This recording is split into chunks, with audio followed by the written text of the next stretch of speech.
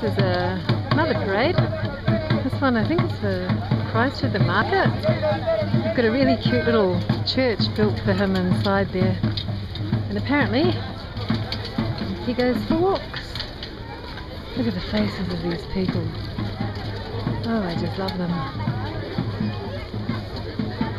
And again, every few yards, the firecrackers go off and scare the blazes out of me.